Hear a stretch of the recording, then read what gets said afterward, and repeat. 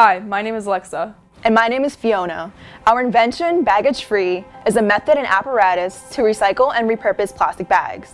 Americans use 100 billion plastic bags a year, and only 1% are recycled, causing accumulation of these plastic bags in homes, waterways, and landfills. The process, which consists of rolling, flattening, and fusing mechanisms, makes it easy to transform plastic bags into raw material. This material can be used to make a whole spectrum of products, ranging from reusable tote bags to waterproof tarps. It is a relatively quick and safe process that does not emit any toxic fumes. The plastic bags enter through a slot between rolling pins and are layered on a heated tray. Then, pressure is applied to the top in order to create one sturdy sheet of plastic. Our invention does what nothing else has done before.